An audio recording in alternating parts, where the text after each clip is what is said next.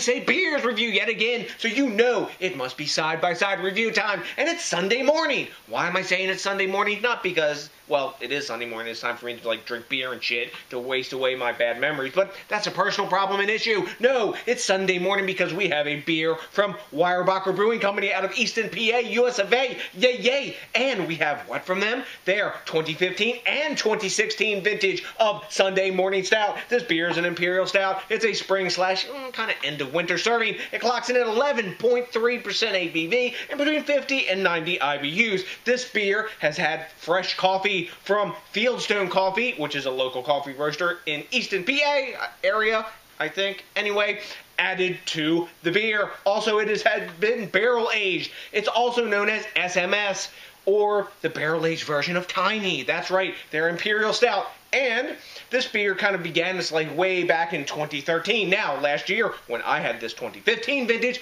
I really freaking dug it. I gave it a high A. And I said in that video, gee, I want to review this beer again and see how awesome it is and how it has aged over time. Now, coffee beers or coffee adjunct beers don't always age awesome. So I'm hoping for the best in the 2015 vintage. So what we're going to do first, we're going to crack the top, I think first on the 2016.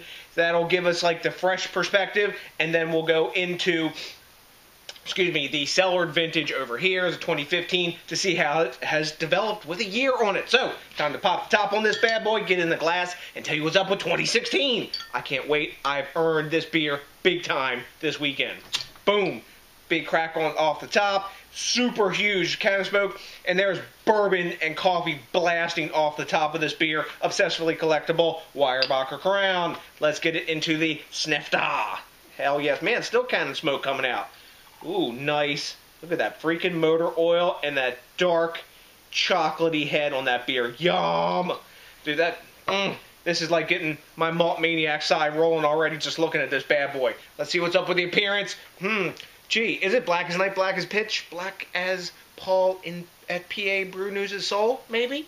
Maybe Paul? Yes? Anyways, there is no light penetrating this beer whatsoever. We got a solid one finger head of super tightly packed dark cocoa colored bubbles when I swirl it.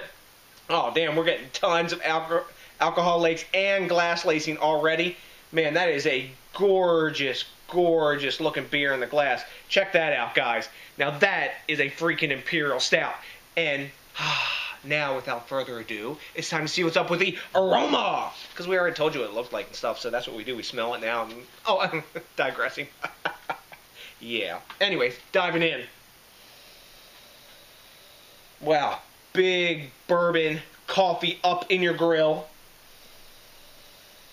Mm, chocolate, toffee, caramel, milk chocolate, cocoa, a little bit of fudginess. Mm, sweet bourbon, vanilla, barrel char. And then as you swirl it, the dark roasted coffee is coming up even more as the head recedes. Mm, now it's a freaking coffee bomb and like earthy hop bomb. With those bourbon notes mixed in the background, I'm remembering this beer now. Shit, I'm diving in, guys. This smells really tasty. Mm, wait. Bit of tobacco in the background there, too. Yum. Diving in, guys. Cheers. Happy Sunday morning. Yeah. Mmm. Damn, that's good. Look at that glass lacing on that. Mmm. Wow. Right up front, you get hit with coffee, barrel char, bourbon after that, a lot of good vanilla in there, earthy hop in there also. In the aroma, there was no alcohol except for like that of bourbon spirits. The alcohol is super, super well hidden in this beer. Wow. Mm, the mouthfeel is nice, full, and creamy, thick mouthfeel. Mm coating and that coffee is in a really great balance with the malts in the background and the barrel. Mm. I could down this whole freaking glass from top to bottom without an issue. Mm. Super smooth, super tasty, very well balanced. Um, there's tons more earthy hop in this than I remember. Maybe I'm more sensitive now because I, I recognize more because I've I've brewed with like Fuggle and Willamette and those sort of hops and and East Kent Goldings that kind of thing. And but man, lots of fudge, dark chocolate at the same time, coffee, caramel, toffee, and bourbon in there. The bourbon's actually a little more understated than I may like, but I'm a bourbon person. Mm.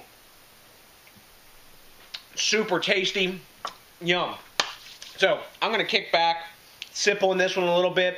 Then I'm going to come back with the 2015, and we'll do the judgment and the verdict between these after I maybe kick back and drink a little bit of that one too. But I got plenty of happy juice here in front of me to drink, and I will be back to see you in a flash. Okay, gang, I'm back. I've been drinking on this beer for probably about, oh, I think 15, 20 minutes, somewhere around there, and it's just really super pleasurable. The only off thing I can possibly pull out of this is that it's got a really, really slight, like, metallic note in the aroma. That's it. It's not present in the taste at all, but a really slight metallic note. I'm not sure what that is. Let me say. It's kind of gone away now. It was like when I was poured more out of the bottle and it kind of like the head, you know, um, rose and receded, and that came up. But it's kind of gone away. But really tasty beer. I just defiled my palate again. Who cares? That's how we roll. So, now, without further ado, lovingly cellared in my cellar for a whole year, the 2015 vintage. Let's pop the top on this, get in the snifter, and tell you what's up with its appearance, aroma, you know, all that shit. Boom. Gigantic hiss off the top. Tons of can of smoke rolling off the top of this one. Obsessively collectible Weyerbacher crown, of course.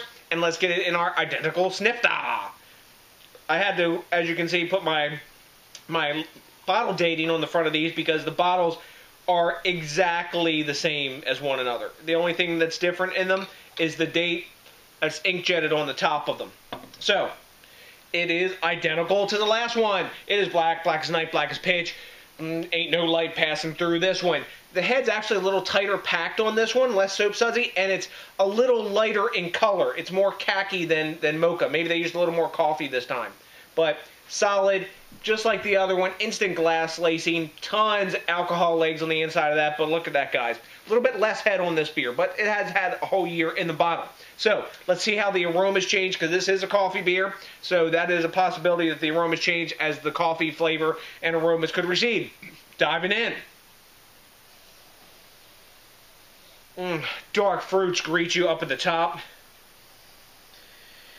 After that, bourbon is more forward than in the fresh version. Chocolate, toffee, lighter, less aggressive coffee, even as the head recedes and I swirl it. More barrel char, more bourbon forward, more st- stereotypic imperial stout aromas forward. That coffee has receded back. The earthy hop is gone. But there's tons of vanilla, tons of bourbon, tons of toffee, dark fruits, mm, chocolate, more tobacco aroma than in this kind of like um, vanilla pipe tobacco, quarter, unburning, not burning vanilla pipe tobacco. Mm, but the bourbon note is really way more forward in this version. So, time to dive in. This smells fucking awesome too. Cheers.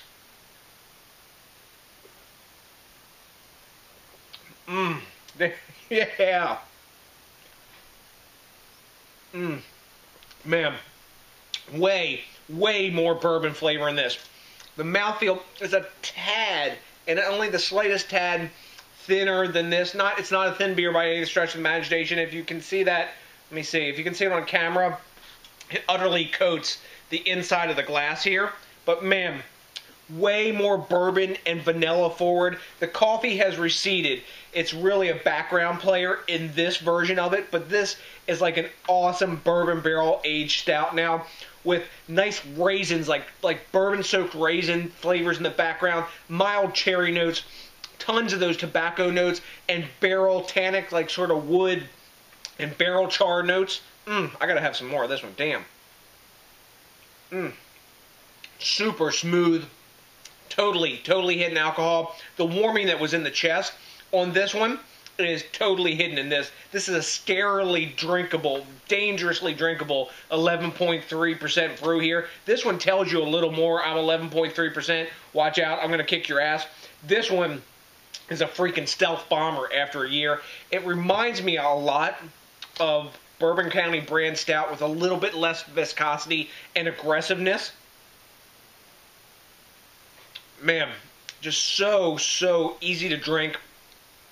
Per, really, for a lot of people, this would be perfect mouthfeel. I find as I've drank these barrel aged stouts over time, my tolerance and expectation of really big, quite viscous mouthfeel is sort of like different than the norm of people out there that are talking about beers like this. But man, super super tasty beer.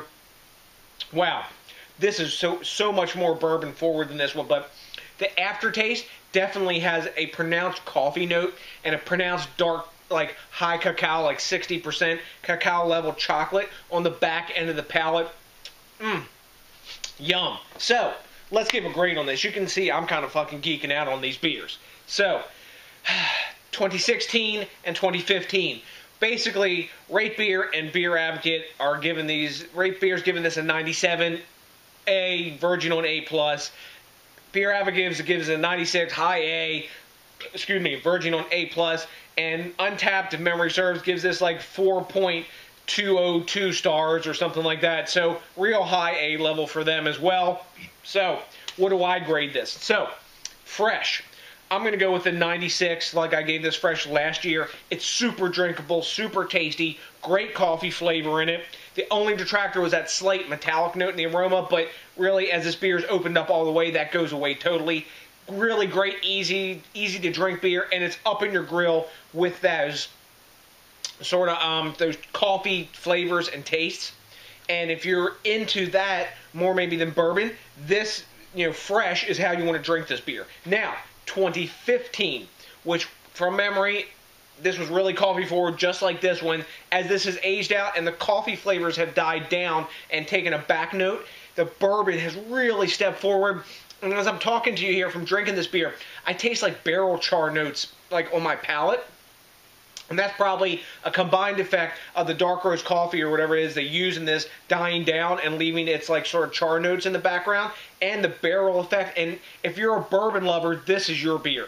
It's very bourbon forward in flavor. I think I was drinking a snifter of bourbon last night, so the flavors of bourbon are very fresh in my memory. Not that I don't drink bourbon often. yeah, it goes hand in hand, beer and bourbon. Come on, guys. Anyways, but damn totally freaking tasty. I'm elevating this up to, man, the coffee flavors have receded, but you know what? I really like the taste of this beer. I'm giving it an A plus, 98. The, these flavors rock. I really, really dig the taste of this beer. Yeah, the coffee's died down, but I knew that was going to happen, and this is cellared great. The, the body hasn't dropped off. There's no off flavors, and it's so dangerously drinkable, guys.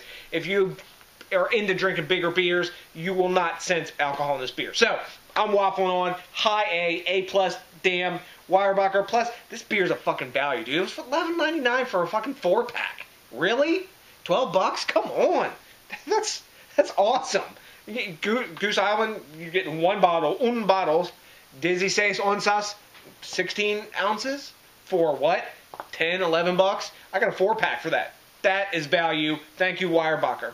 So, have you had this beer, either vintage or fresh? Let me know what you know, because I like the quid pro quo and the back and forth, because that makes me more beer geekier and more smarter and stuff. And that is awesome. What is also awesome is when you think locally, drink locally, and support the craft beer movement, because we have more beers like Sunday Morning Stout, which I think, in my opinion, just so you know, this is better than KBS. Just is. Drop the mic, let it go. KBS is alright. I had it with Johnny the Stunt Drinker this year, right on tap down in Virginia, in Leesburg, and we were up there uh, getting together for that day, and it this is better than KBS. It's got better mouthfeel, bigger, fuller flavor, and definitely more defined bourbon flavor for around the same ABV level. Boom, I said it. It's done. Sorry, KBS fans. This is better. Anywho.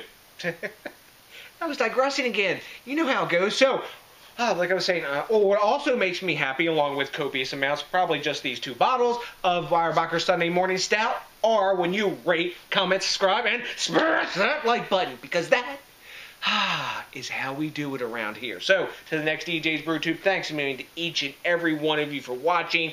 A big bunch of love from me, and oh, what are you waiting for? That's right. Oh, it's coming for you now. A big peace